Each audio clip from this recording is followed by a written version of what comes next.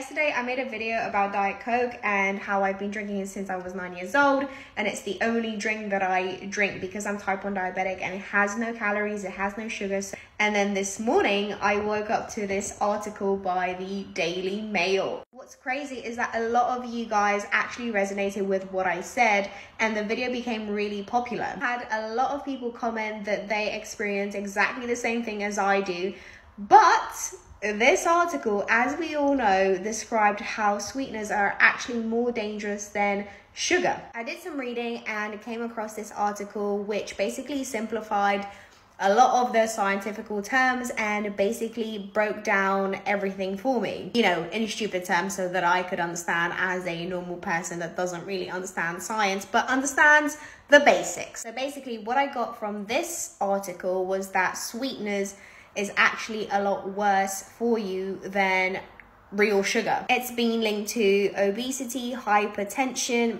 um, metabolic syndrome, type 1, type 2 diabetes, and heart disease. Now, I'm not a doctor, but that doesn't sound good. And apparently, it has also shown to affect your menstrual cycle, mood, and stress, and cause depression. And I'm not sure about autism. That one I'm not sure about. But now I'm thinking, I am thinking. What I'm learning is that either way, I'm basically fucked. I either have the choice of being addicted to actual sugar, which will fuck up my blood sugar levels, I'll need a ton of insulin, I'll probably gain a shit ton of weight, and I'll just feel shit overall.